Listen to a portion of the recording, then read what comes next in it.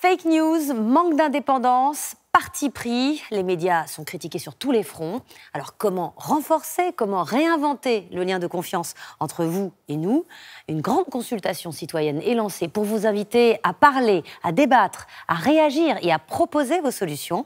Pour participer, c'est simple, rendez-vous sur la plateforme média et citoyens.com. Alors, parlons-nous.